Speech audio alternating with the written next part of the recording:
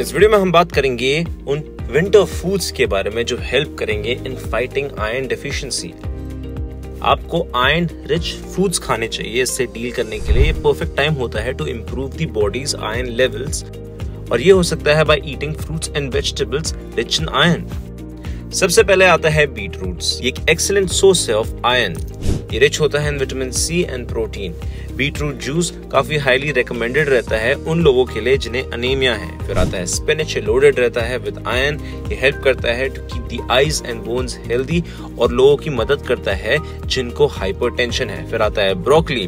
Winter vegetables काफ़ी rich होते हैं एंड आयन ये हेल्प करता है with constipation and high blood sugar फिर आता है pomegranate one of the best foods ये रहता है to increase the haemoglobin levels इसमें काफ़ी fibre calcium protein and vitamin C रहता है। उसके बाद आता है एप्पल ये कंटेन करता है आयरन